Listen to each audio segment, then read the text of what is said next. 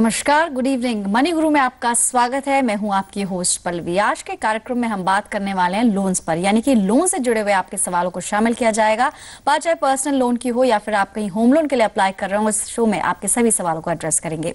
हमारे आज के कार्यक्रम में हमारे साथ दो खास मेहमान जुड़ेंगे। फ़िलहाल हमारे साथ अभिषेक द्विवेदी है। बैंक बाज़ार से अभिषेक बहुत बहुत स्वागत है आपका कार्यक्रम में। चलिए हमारे साथ एक और जानकार होंगे। हमारे साथ अपना पैसा डॉट कॉम से in fact Pankaj Malde head financial planning भी कुछ देर में हमारे साथ होंगे। चलिए पहले एक नज़र डालेंगे कि आज शो में क्या खास है। यानी आज का ऑन द शो क्या है? लोन के कई अलग अलग पहलुओं पर हम गौर करने वाले हैं। यानी एलिजिबिलिटी क्या होनी चाहिए? बैंक कैसे डिसाइड करते हैं? इसके अलावा लोन ट्रांसफ़र चेक इस पर भी चर्चा होगी। ज्वाइंट लोन अगर आप लेने की सोच रहे हैं क्या ऑफर्स हैं? इन सभी मुद्दों पर हम आज बातचीत करेंगे। तो चलिए कुछ सवाल अब शामिल करते हैं। पहला सवाल शक्ति नारायण साहब का है। लखनऊ से इन्होंने सवाल भेजा है। होम लोन से जुड़ा हुआ सवाल है। अभिषेक पहले आपके पास आना चाहूँगी। इनकी डिटेल्स जैसे इन्होंने शेयर की इकतीस साल इनकी उम्र है और जो इनकी मासिक आय near about forty thousand five hundred ये जानना चाह रहे हैं आपसे कि गवर्नमेंट जॉब में है इनको मैक्सिमम कितना लोन मिल सकता है? प्रॉपर्टी की कॉस्ट उन्होंने बताई करीब ट्वेंटी लाख यानी पच्चीस लाख की प्रॉपर्टी अ, कितना परसेंटेज इनको मार्जिन देना होगा और कितना लोन मिल पाएगा? श्योर देखिए, ऐसा होता है कि जब भी होम लोन लेना होता है, दो चीज़ें होती हैं जिसके बेस पे हम उनकी कैलकुलेट करते हैं कि मैक्सिमम को कितना लोन मिल सकता है। सबसे पहली बात तो ये है कि इनकी जो सैलरी है टिपिकली इसका 40 टू 50 परसेंट तक ये ईएमआई दे सकते हैं। तो उस बेसिस पे बैंक इनको लोन देती हैं। तो अगर इस केस में अगर मान लीजिए कि इन्होंने कोई भी लोन नहीं लिया है अभी तक और सारे कोई भी इनकी ईएमआई नहीं जा रही है तो इस केस में अगर इनका फोर्टी थाउज़ेंड का अगर इनकम है मंथली और अगर ये 20 साल का लोन ले तो तकरीबन इनको अप टू 20 लैक्स तक मिल सकता है। सो so, एक तो वो क्राइटेरिया होता है। दूसरा क्राइटेरिया क्या होता है कि ये जो भी प्रॉपर्टी ले रहे हैं उसकी कॉस्ट क्या है? एंड टिपिकली अगर आप देखो जो भी कॉस्ट है उसकी 80 टू 90 परसेंट के बीच में मिलती है। अगर आप मोर देन 20 लैक्स है तो वो आपको 80 परसेंट ही मिलेगा जो उसका है। तो अगर आपने बताया कि 25 लैक्स है तो definitely 80 percent twenty five lakhs इनको मिलेगा वो लोन तो इन दोनों कॉम्बिनेशन मिला के इन, इन, इनकी मैक्सिमम एलिजिबिलिटी कैलकुलेट की जाएगी। पंकज, जैसे इन्होंने बताया, इनकी एज है 31 और साथ ही सरकारी नौकरी में भी ये भी एक फैक्टर हो सकता है क्योंकि इनकी प्रोफ़ाइल को देखते हुए एसबीआई में इनफैक्ट इनका खाता होगा, वहाँ पर भी अप्लाई कर सकते हैं। लगभग कितना ब्याज इनको देना होगा अगर 20 साल के लिए लोन ले रहे हैं तो? अभी पचहत्तर लाख के अगर नीचे लोन लेते हैं तो 10.15 रेट है एसबीआई का। तो बेटर है वो अगर उनका खाता एसबीआई में है तो बेटर है एसबीआई में ही जाना। और एसबीआई है, वो ट्रेंड सेटर है इस होम लोन में। तो एसबीआई ही आज के डेट में देखा जाएगा तो अच्छा रहेगा और पर लैख वन थाउज़ेंड के करीब ईएमआई मानना चाहिए। और दूसरी बात ये भी जाननी चाहिए कि दूसरी लोन है या नहीं। और हो सकता है तो लोन लेने से पहले अपना सिविल रिपोर्ट जाँच करवा ले, ताकि उनको पता चलेगा कि उनका स्कोर क्या है। अगर स्कोर अच्छा है तो लोन लेने में बहुत ही अच्छी आसानी रहेगी। तो चलिए आप फ़िलहाल लोन के लिए जैसे आप अप्लाई करना चाह रहे हैं लगभग 20 लाख तक का लोन आपको मिल पाएगा आपकी प्रोफ़ाइल को देखते हुए। हमारे साथ एक और दर्शक है फ़ोन लाइन पर संदीप है बेंगलुरु से। नमस्कार संदीप पूछिए क्या सवाल है? हेलो मैडम नमस्कार संदीप पूछिए क्या सवाल है? हाँ मैडम नमस्कार। मेरा नाम संदीप एक्चुअली मुझे ये जानना है मैंने फाइव लाख रुपीस का लोन लिया था madam home sorry personal loan जी। एच डी HDFC बैंक से, जी। पॉइंट टू फाइव ओके और मैडम मेरा इंस्टॉलमेंट अभी ट्वेल्व थाउज़ेंड समथिंग बन रहा है। हम्म हम्म, और मुझे वन ईयर हो गया है अभी पे करते हुए। ओके तो इंस्टॉलमेंट कम करना चाहता हूँ। कोई खास वजह कोई खास वजह है संदीप? आप लोन ट्रांसफ़र करना चाह रहे हैं आपने किसी बैंक से बात करी है इससे कम में आपको मिल रहा हो 16.25 से? नहीं बस एक आईसीसीआई में कुछ देखा था कि वो थर्टीन परसेंट पे कुछ home personal loan ICICI bank से आपने बात करी है। नहीं, बात नहीं किया मैडम ऐसे ही मैंने जस्ट एड देखा चेक किया आपने एंड से। संदीप अपने बारे में थोड़ा सा बता पाएँगे? आपकी आय कितनी है लगभग सालाना? मैडम अभी मेरा सिक्स लाख पर ईयर है madam. Alright six lakh per annum as Sandeep? आपकी उम्र कितनी है संदीप अभी? पढ़न आपकी उम्र कितनी है? Age thirty year madam. Alright इनके प्रोफ़ाइल को देखते हुए, अभिषेक पहले मैं आपसे जानना चाहूँगी, इन्होंने जैसे बोला पर्सनल लोन ऑलरेडी चल रहा है इनका, और जनवरी 2013 में इनका लोन स्टार्ट हुआ था, लगभग अब एक साल हो गया है जनवरी 2014 में हम आ चुके हैं। 16.25 परसेंट पे लोन लिया था, ज़्यादा है क्या ये ब्याज सर? और अगर शिफ्ट करते हैं, कौन से बैंक ये फैसिलिटी दे रहे हैं, और किन चीज़ों का ध्यान रखना होगा? बिल्कुल अगर आप देखो तो जैसे उन्होंने बोला कि उन्होंने आईसीसी का भी, एक ऐड देखा तो अगर आप देखो तो आईसीआईसी और एचडीएफसी पर्सनल लोन में एटलीस्ट बहुत अग्रेसिव हैं और आप देखो तो इनका लोन ट्रांसफ़र बहुत ही अग्रेसिव कैंपेन कर रहे हैं। तो अगर आप आईसीसी को देखो तो इन्होंने जैसे बोला कि जो मिनिमम 13 परसेंट एंड अबव में ऑफ़र दे रहे हैं और सिमिलरली अगर आप एच डी का भी देखो तो वो भी बोलते हैं कि 12.99 या उसके अब आपको रेट देंगे अगर आप ट्रांसफ़र करो तो। लेकिन इसमें क्या चाहिए कि ये सबको वो रेट नहीं देते हैं? वो डिपेंड अगेन करेगा कि आपकी प्रोफ़ाइल क्या है। जैसे फॉर एग्ज़ाम्पल एच बैंक अभी आप देखो तो पर्सनल लोन में they are leader by far वो सबसे बड़े पर्सनल लोन देने वाले एंटिटी हैं अभी इंडिया में और वो काफ़ी अग्रेसिव हैं। तो जब इन्होंने इनको सिक्सटीन पॉइंट सेवन फाइव दिया तो डेफिनेटली इन्होंने कुछ बेसिस के ऊपर इनको दिया होगा। फॉर एग्ज़ाम्पल इनकी आय कितनी है जो उन्होंने बताया। दूसरा है कि ये किस तरह की कंपनी के साथ काम कर रहे हैं। अगर आप कुछ काफ़ी अच्छी कंपनी के साथ काम कर रहे हैं जैसे माइक्रोसॉफ्ट हो गया तो आपको काफ़ी कम मिलता है। कई बार आपको thirteen point five fourteen percent भी मिलता है। उसके बाद इनकी जॉब स्टेबिलिटी कितनी रही है तो ये सारे तीन चार चीज़ें मिला के रेट ऑफ़ इंटरेस्ट कंसिडर होता है। तो डेफिनेटली जो एच डी बैंक अगर आप देखो तो काफ़ी कॉम्पिटेटिव है। तो हम्म। अगर आप आईसीआईसीआई में या फिर स्टैंडर्ड चार्टर्ड में या फिर सिटी बैंक में जो इक्वली कॉम्पिटेटिव है अगर आप जाओ तो आपको डेफिनेटली यू नो एक ऑप्शन मिलता है। लेकिन मैं कहूँगा कहूँगा कि ये ज़रूरी नहीं है कि इनको वो कम हो ही जाए। क्योंकि अगर अगेन पर्सनल लोन काफ़ी रिस्की होता है तो दूसरे बैंक्स भी असेस करेंगे कि इनकी प्रोफ़ाइल क्या है। उस प्रोफ़ाइल के बेस पर देखेंगे कि वो कितना लोन किस किस ब्याज पे वो इनको लोन दे सकते हैं। लेकिन डेफिनेटली इनको ट्राई करना चाहिए। पंकज जैसे कि अभिषेक ने भी ऐड किया आपसे भी मैं जानना चाह रही हूँ काफ़ी सारे चार्जेस इन्वॉल्व होते हैं पर्सनल लोन की अगर बात करें होम लोन ट्रांसफ़र में कई बार हम शो पर चर्चा करते हैं यहाँ पर बात पर्सनल लोन की हो रही है कुछ इसमें चार्जेस भी होंगे और फिर नए बैंक में जाए अप्लाई करेंगे। आ, पहले तो कितने ऑप्शन है इनके पास कौन कौन से बैंक है? जैसे अभिषेक ने बोला आईसीआईसी बैंक से इनको ने एड देखा था और वहाँ पर कुछ एक इनको कम ब्याज पर मिलेगा लेकिन कम ब्याज पे तो मिल रहा है पर साथ ही ट्रांसफ़र करने में जो कॉस्ट है ओवरऑल कॉस्ट कितनी पड़ जाएगी इनको प्रोसेसिंग मिला के और साथ ही जो प्री पेमेंट ये करेंगे कैसे देखते हैं आप इसको और कैसे एड्रेस करेंगे संदीप के सवाल को? देखिए पर्सनल लोन में सबसे बड़ी दिक्कत ये होती है कि आपको प्री पेमेंट इजीली नहीं करने को मिलता। वेटिंग पीरियड होता है। हर एक बैंक का अपना अपना लिमिट होता है छः महीने से बारह महीना। और अगर आप प्री पेमेंट करना भी चाहो तो चार से पाँच टका आपको पेनल्टी लगती है। और दूसरी बैंक में अगर शिफ्ट करवाते हो तो दो से ढाई टका आपको प्रोसेसिंग फ़ीस लगती है दोबारा लोन लेने के लिए। तो सात टके का कॉस्ट मान करके चलिए तो अगर जो चार, सवा चार लाख की अगर लोन भी बाकी है तो अट्ठाईस हज़ार रुपये का अपफ्रंट खर्चा है उनको। मेरी राय तो इनको यही रहेगी कि वो बहुत हाई इंटरेस्ट पे कर रहे हैं और हो सके तो एग्जिस्टिंग इन्वेस्टमेंट से पूरा लोन खत्म करने की कोशिश पहले करें ना कि ट्रांसफ़र करने की। जी तो कुछ बातों का संदीप आपको खास ख्याल रखना होगा। प्रोसेसिंग फ़ीस जैसे बताया हमारे एक्सपर्ट ने पंकज ने कि आपको ओवरऑल जो कॉस्ट पड़ेगी सिर्फ़ ट्रांसफ़र करने की कॉस्ट काफ़ी आपको पड़ जाएगी अट्ठाईस के आसपास। काफ़ी सारी चीज़ों का ध्यान रखना होगा। साथ ही अगर आप ट्रांसफ़र कर भी रहे हैं तो आप एक बार ब्याज ज़रूर चेक करें और आपको कितनी कॉस्ट पड़ेगी इस ट्रांसफ़र में वो ज़रूर आप चेक कर सकते हैं। फ़िलहाल हमारे साथ मनोज भोपाल से फ़ोन लाइन पे है। नमस्कार मनोज जी पूछिए क्या सवाल है? Madam actually mother in law के नाम से प्लॉट की रजिस्ट्री है। जी। और वो मेरी वाइफ को गिफ्ट कर दें तो मैं उस पर कंस्ट्रक्शन के लिए लोन ले सकता हूँ क्या? ओके जो प्लॉट है लगभग उसकी कॉस्ट क्या होगी? उसकी कॉस्ट साढ़े तीन लाख है। ओके आपका जो पर्पस है लोन लेने का कंस्ट्रक्शन ही है? हाँ जी हाँ जी। ओके उसको फिर आगे रेंट आउट करना चाह रहे हैं? किस चीज़ का कंस्ट्रक्शन घर बनाना चाह रहे हैं या कमर्शियल यूज़ के लिए? नहीं नहीं घर घर होम ओके ओके काफ़ी सारी चीज़ें इसमें देखने वाली हैं। अभिषेक पहले आपसे मैं जानना चाहूँगी प्लॉट पर एक तो काफ़ी बैंक्स के रूल्स नॉर्म्स जो हैं थोड़े स्ट्रिक्ट रहते हैं और आम एक अगर होम लोन के लिए अप्लाई कर रहे होते हैं तो उससे ब्याज दर भी इनको ज़्यादा देनी पड़ेगी। और साथ ही एक इंपॉर्टेंट पॉइंट जैसे इन्होंने बताया मनोज ने कि जो प्लॉट है इनके नाम पर नहीं है इनकी मदर इन लॉ के नाम पर क्या ऑप्शन है इनके पास?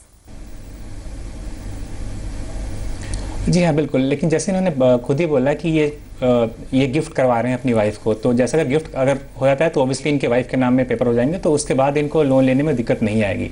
सबसे पहली बात यह दूसरी बात है कि जब से बताया कि हाँ अगर आप प्लॉट लोन ले रहे हो तो उस केस में आपको थोड़ी सी प्रॉब्लम होती है। आपके जो रेट ऑफ़ इंटरेस्ट होते हैं, थोड़े से हाई होते हैं, जो रेगुलेशन होते हैं, थोड़े से ज़्यादा टफ होते हैं। लेकिन अगर आप कंस्ट्रक्शन लेते हो या फिर purchase of plot plus construction लेते हो उस केस में टिपिकली ये उतना ज़्यादा अग्रेसिव बैंक्स नहीं होती हैं। थोड़ी सी होती हैं लेकिन उतना ज़्यादा नहीं होती हैं। अगर आप सिर्फ़ प्लॉट लेन लेते हो तो वो आपके बैंक के लिए ज़्यादा क्रिटिकल होता है और उसमें बैंक्स ज़्यादा अग्रेसिव होती हैं। तो अगर आप इस केस में देखो तो डेफिनेटली इनको मिलना चाहिए। और जब भी जो भी होम लोन लेने के लिए जो जो रिक्वायर्ड हो, चीज़ें होती हैं जैसे इनका इनकम होना चाहिए वो सफिशियंट होना चाहिए। इनका जो रिकॉर्ड होना चाहिए वो क्लीन होना चाहिए इन टर्म्स ऑफ़ रीपेमेंट अगर उन्होंने पिछले कोई लोन लिया है तो तो ये सारी चीज़ें डेफिनेटली अगर इनकी सही हो इनके पास सारे कागज़ हो तो इनको लोन मिलने में दिक्कत नहीं होनी चाहिए। हम्म, ओके एक और एक्सपर्ट हमारे साथ पंकज उनसे भी राय लेंगे इसी सवाल पर। पंकज जैसे मनोज ने बताया इनकी वाइफ की मदर जो है मदर इन लॉ सास जो है उनके नाम पर ये प्लॉट है। गिफ्टिंग का ऑप्शन है इनके पास या फिर ट्रांसफ़र करा लें? क्योंकि प्लॉट उनके नाम से रजिस्टर्ड है। सक्सेशन का भी इसमें कुछ एक पहलू रहेगा आपकी तरफ़ से क्या राय है? और साथ ही कौन से बैंक में अप्रोच कर सकते हैं? नहीं गिफ्ट करवा देते हैं तो कोई दिक्कत नहीं आ जाती। एक बार टाइटल अगर उनके नाम पे हो गया तो ये जानना ज़रूरी है कि क्या उनकी वाइफ भी अर्निंग है या खुद ही अर्निंग है और खुद अप्लाई करना चाहते हैं? जी।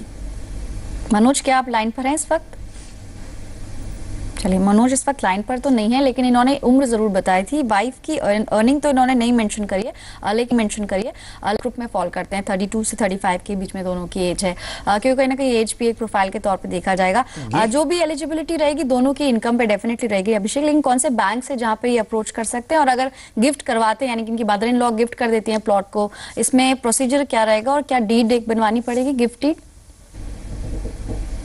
gift definitely gift deed बनवानी पड़ेगी और उसका जो कॉस्ट है रजिस्ट्रेशन हर स्टेट का अलग अलग होता है तो करवाना पड़ेगा मगर उससे लोन लेने में काफ़ी आसानी हो जाएगी। और सेल्फ कंस्ट्रक्शन के लिए जैसे बताया गया कि बहुत बैंक अग्रेसिव नहीं होती हैं तो H D F C I C I C I जैसे बैंक को अप्रोच कर सकते हैं। और अमाउंट छोटा सा है तो इजीली मिल जाना चाहिए कोई दिक्कत नहीं आनी चाहिए। तो मनोज हमारे दोनों एक्सपर्ट की राय है कि आप जो, जो प्लॉट है वो आपकी वाइफ के नाम पे ट्रांसफ़र करवा सकते हैं और साथ ही आईसीआईसीआई बैंक एचडीएफसी बैंक जैसे कुछ बैंक है बड़े बैंक है जहाँ पर आप अप्रोच कर सकते हैं और आपको इस प्लॉट पर लोन मिल जाएगा। फ़िलहाल एक ब्रेक के लिए रुकेंगे। कुछ और सवाल हैं जो हम शामिल करेंगे। हमारे साथ दोनों जानकार मौजूद रहेंगे पंकज और साथ ही अभिषेक द्विवेदी। जल्द लौटेंगे एक छोटे से ब्रेक के बाद।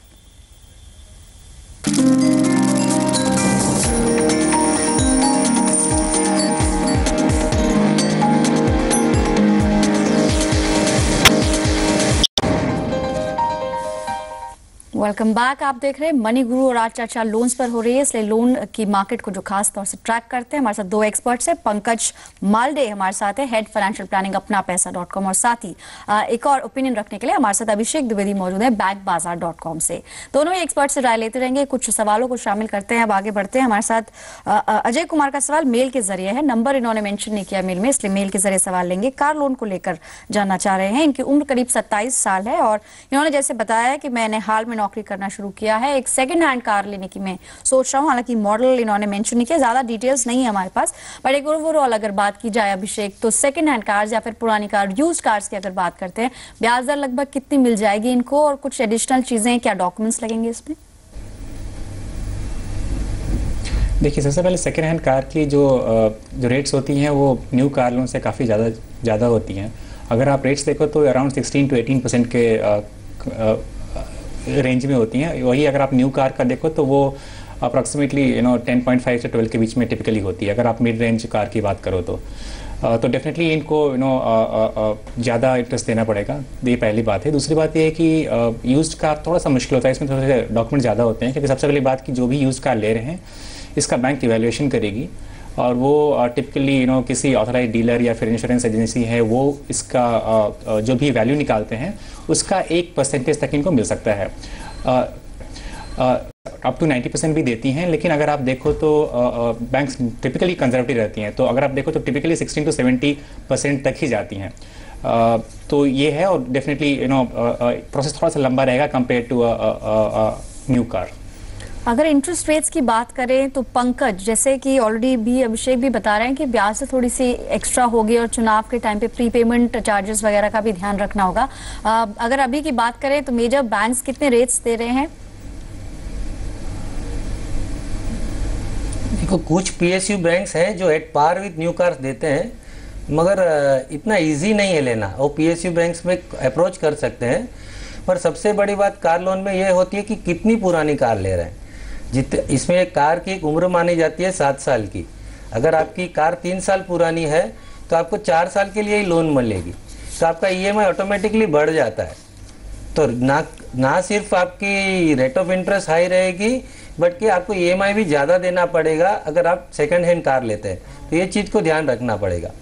तो लगभग 14 से 18 परसेंट तक के कुछ इनफैक्ट जो फ़िलहाल मौजूदा विकल्प हैं आपके सामने रखे गए हैं। Bank of India central bank of India H bank मतलब प्राइवेट और साथ ही सरकारी दोनों बैंक से कुछ ऑप्शन है। आईसीआईसीआई बैंक और एसबीआई जो सबसे बड़ा बैंक माना जाता है देश का, लगभग सोलह से साढ़े तक का ब्याज दर आपको देनी पड़ेगी सेकेंड हैंड कार में।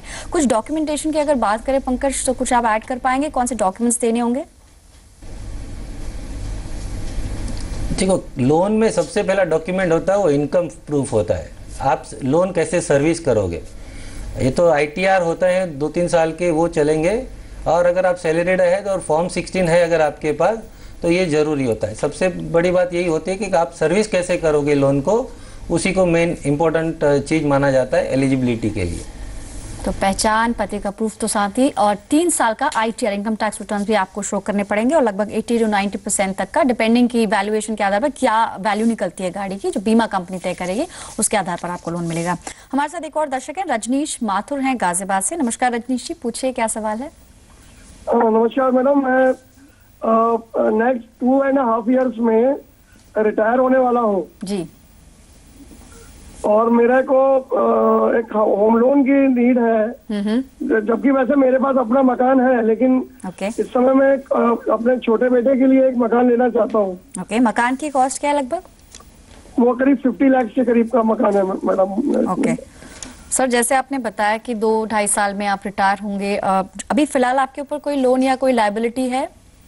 नहीं मैडम इस समय कोई लोन नहीं है। ना मकान का लोन है ना कोई कार का कोई लोन नहीं है इस समय। तो लोन के लिए आप मतलब as a main borrower apply करना चाह रहे हैं या को लेकिन जॉइंट लोन की कुछ आप सोच रहे हैं? जी मैं यही जानना चाहता हूँ कि आज मैं जॉइंट ले सकता हूँ अ, या मैं अपना सेल्फ ही पूरा ले ले सकता हूँ कोई लोन सर आपने बताया आपके जो बेटा है जान सकते हैं उनकी उम्र कितनी है लगभग? और अगर वो काम about 25 years old twenty five and he is also doing a job लेकिन सैलरी स्ट्रक्चर में अभी वो मेगा ख्याल से उतना लेवल पे नहीं पहुँचे हैं। उनका एनुअल इनकम क्या आप शेयर कर सकते हैं? About two lakh twenty thousand के करीब है। Okay two lakh twenty thousand और राइट अभिषेक जैसे इन्होंने बताया, खुद ये रिटायर रिटायरमेंट के काफ़ी करीब हैं मतलब 58 इनकी उम्र है और कुछ ही समय में, ढाई साल के लगभग, जबकि लोन की ड्यूरेशन इससे लंबी होगी। बैंक ज़्यादा कंफर्टेबल नहीं होते एट दिस एज लोन देने में। साथ ही अगर इनके बेटे इनकी जगह लोन लें, लेकिन उनकी सैलरी स्ट्रक्चर इन्होंने शेयर किया टू लगभग उनकी एनुअल इनकम है। क्या ऑप्शन इनके पास अ, जी हाँ बिल्कुल सही बोला आपने। देखिए यू नो जब भी अगर कोई भी बैंक लोन देती है तो सबसे पहली बात डेफिनेटली वो देखती है कि यू नो आपके पास यू नो रीपेमेंट कैपेसिटी है कि नहीं।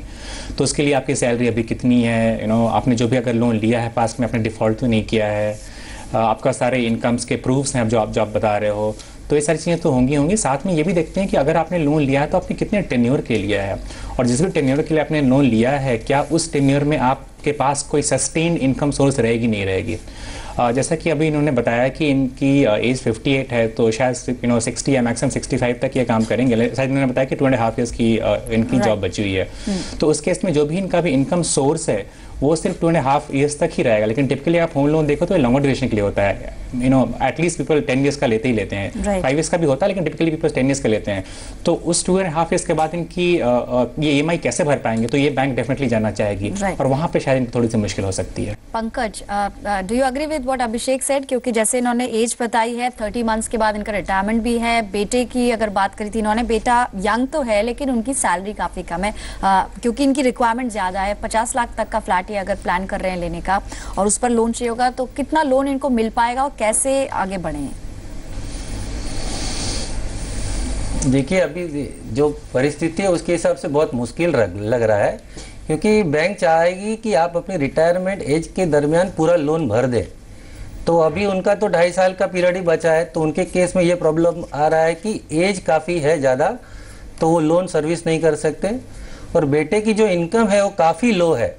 तो 30-40 लाख का लोन तो नहीं बैठेगा। जैसे हम मानते हैं कि 40-50 टका प्रतिशत आपको लोन मिल सकता है तो एक लाख दस हज़ार जितनी सैलरी मानी जाएगी कि वो अवेलेबल है। तो ऐसे केस में उनको 10-12 लाख से ज़्यादा लोन मिलने की उम्मीद बहुत कम है।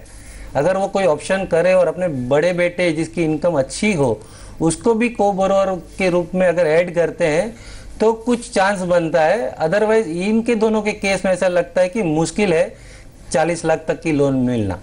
तो लोन एलिजिबिलिटी की अगर बात करें, रजनीश थोड़ा सा मुश्किल रहेगा। जैसे आपने खुद भी बताया था लोन जो सैलरी स्ट्रक्चर है आपके बेटे का, वो काफ़ी कम है और रिक्वायरमेंट आपकी ज़्यादा है। को बोरोवर के तौर पर अगर कोई और बेटा है आपका तो आप उसके साथ लोन लेने की सोच सकते हैं। फ़िलहाल हम एक छोटे से ब्रेक के लिए रुकेंगे, लेकिन हमारे साथ दोनों एक्सपर्ट जुड़े हैं, पंकज और साथी अभिषेक, दोनों से राय लेंगे इस छोटे से ब्रेक के बाद।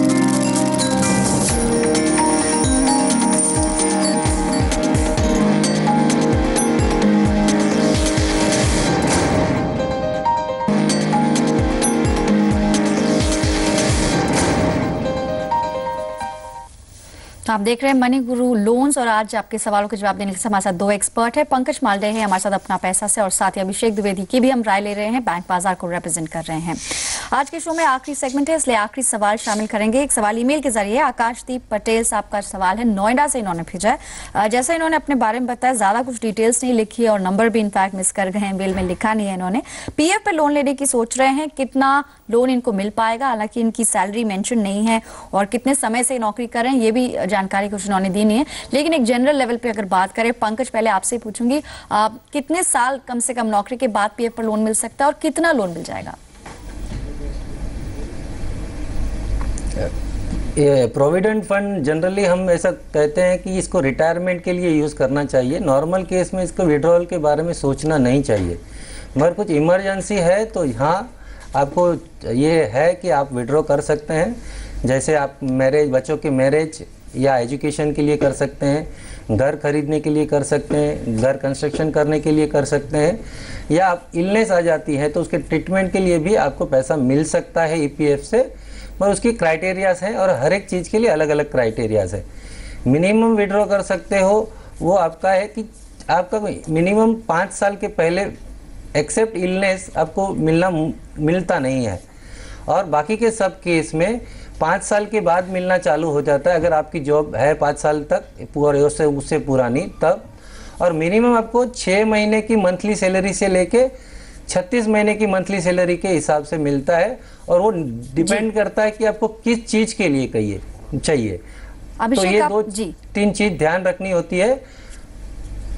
चले, आज के शो में इतने ही सवाल शामिल कर पाएँगे। अभिषेक, आपका भी बहुत बहुत शुक्रिया, और साथ ही पंकज, आपका भी शुक्रिया। जी बिज़नेस को अपना कीमती समय देने के लिए आज के लोन्स के कार्यक्रम में बस इतना ही। लेकिन बुधवार का कार्यक्रम देखना ना भूले, हमारे साथ इंडस्ट्री के टॉप एक्सपर्ट्स जुड़ेंगे। इंश्योरेंस में हम मेडिक्लेम स्पेशल लेकर आ रहे हैं।